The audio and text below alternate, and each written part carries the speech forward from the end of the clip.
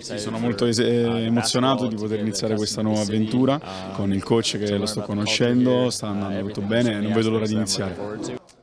Diciamo che la città è molto bella, stiamo visitando un po' di ristoranti, un po' di posti della città e con la squadra stiamo cercando di creare la chimica giusta per poter eh, andare avanti e poter eh, fare il meglio in questa stagione. Qui presentiamo Kevin, eh, un giocatore molto importante per noi, Yo que que, que sicuro que, que farà divertir a, a la gente, que sense dubbio será una delle grandi novità que che vedremo quest'anno al Palabarbuto.